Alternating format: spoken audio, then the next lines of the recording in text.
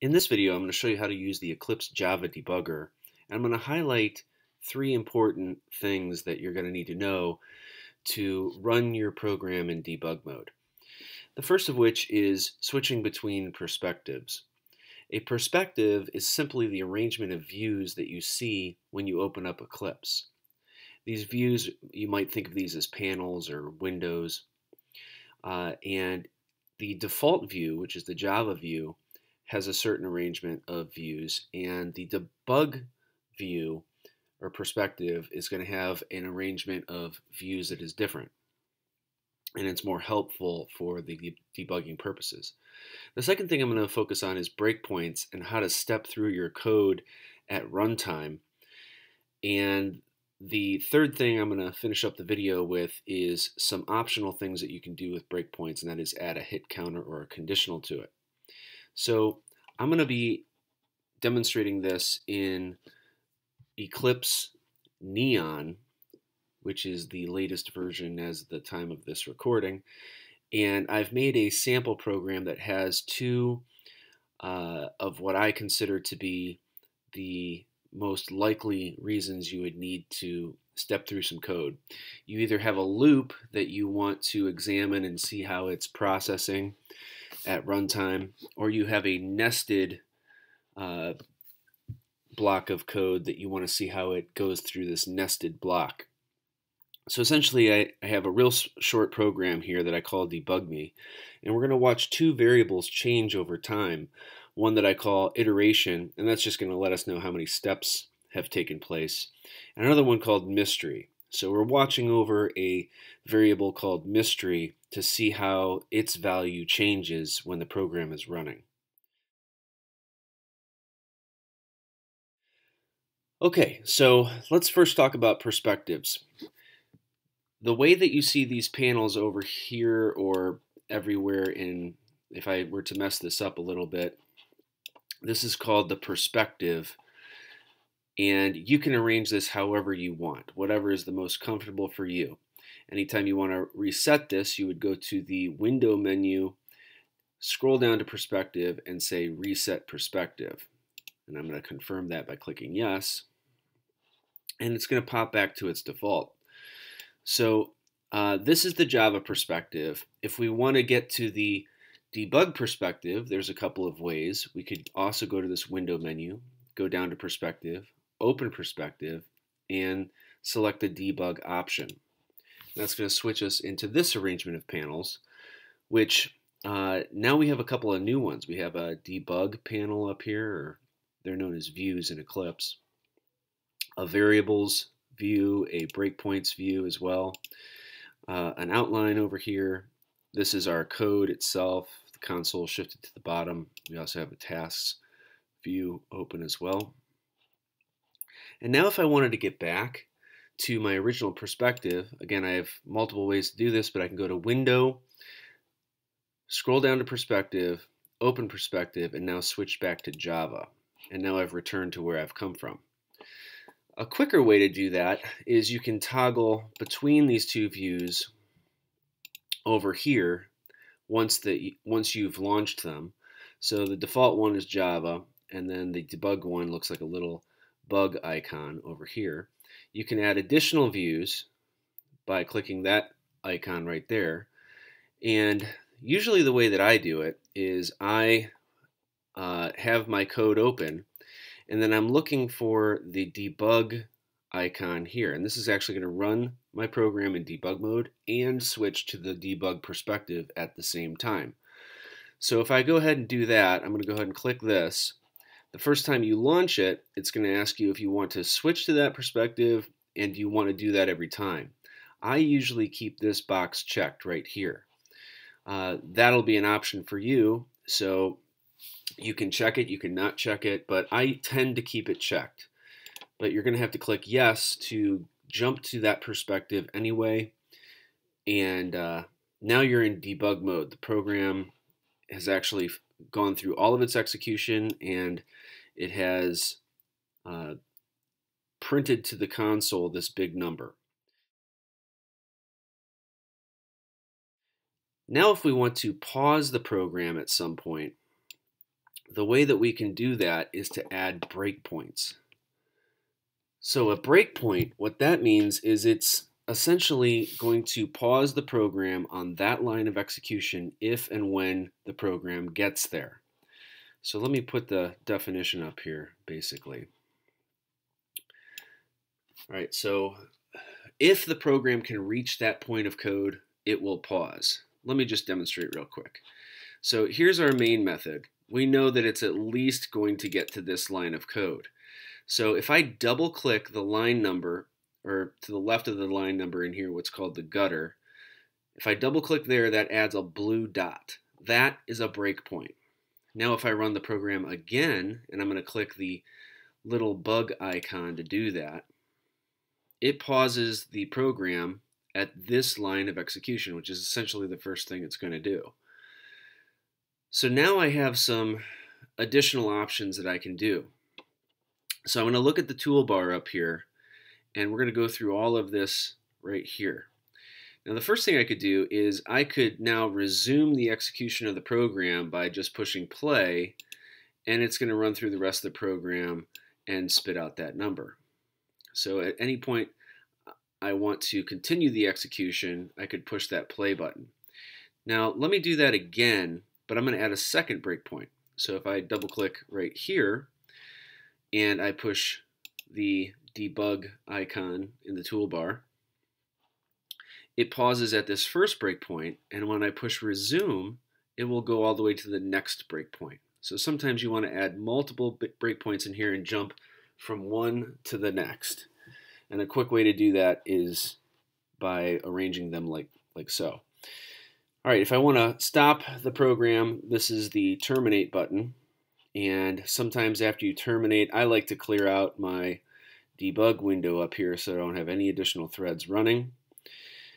Let me go ahead and remove these breakpoints right now. So I'm going to double click this one and double click that one, and that gets rid of them and we're going to put them at a different point. So let's put one on line 14 right now, where this variable called mystery is going to get a value from this method called calculate. So let's go ahead and run the program again. And now I have the option right here in the toolbar to step into or step over. Let me show you the difference between the two. If I step into, it's going to go into the calculate method. So that means that it's going to jump from this line. So the green line here is the line that it's currently on, and it has not executed that line yet. So it's going to jump from this line into this method here called calculate. And that's if I did the step into option. If I did step over, it would not run this, or basically it's going to run this line, but then go right to line 15. So if we're interested in knowing what the calculate method is going to return so and store in mystery, I might want to step into it. If I'm not interested in it, I might want to step over it. So I'm going to go ahead and click step into, and you're going to see it jumped from line 14 down to line 26. Now, if I look at the toolbar, I have three options. And that's because essentially they're, the first two options, step into and step over, are going to function exactly the same. So if I step into, it just calculated this method here. Step over would have done the same thing. And now I'm on return to mystery. The third option is called step return. Step return is going to take us back to where we came from. So we came from this, the main method, into the calculate method. And if I click step return right now, it's going to take me back. Now, because this is the end of the method down here, essentially all three of these are going to be doing the same thing. They would all take us back to where we came from. So I'm going to go ahead and click this third option, which takes us back to line 14, but now calculate this has become an expression that can now be evaluated. We know what the result of it is going to be, and when we go to the next line, it's going to essentially give that result to the variable mystery to hold. So I'm going to go ahead and click next, And now mystery is listed right here in our variable list with its value. Now I can continue and now it's going to go down into this nested structure. So another thing that you may want to use in debug mode is you've got a complicated nested condition and you want to find out how exactly it's working at certain points of the program. So this allows us to step through that as well. If I click step into, it's going to go down to the conditions that are true and return the result. And now we've gone through one iteration of this loop. All right, so we've gone through the loop one time, and mystery is zero. If I step through this a couple of times, I'm going to watch this variable list up here change its value. So iteration at this point in the program, we've gone one time. Mystery has now got a value of 4. And after a couple of steps through this program, I can watch the variables change. Okay, I'm going to click the resume button. It takes us back all the way up to the top. And now on the third iteration, mystery is holding a value of 20.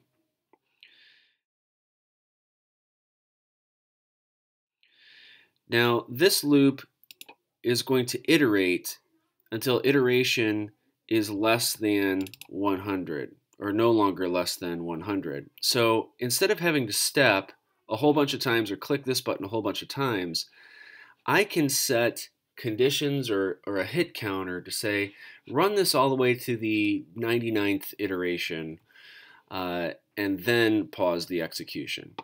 To do that, you're going to right click or control click on a Mac the breakpoint and go down to breakpoint properties. And this allows you to add, for instance, a hit counter, a conditional, or both. So the first thing I'm going to do is let's just focus on the hit counter right now. Let's say I want to pause the program when this breakpoint has been reached 99 times. So I'm going to click OK. And now I'm going to stop the execution of our previous debug session. I'm going to clear that out. And I'm going to run it again.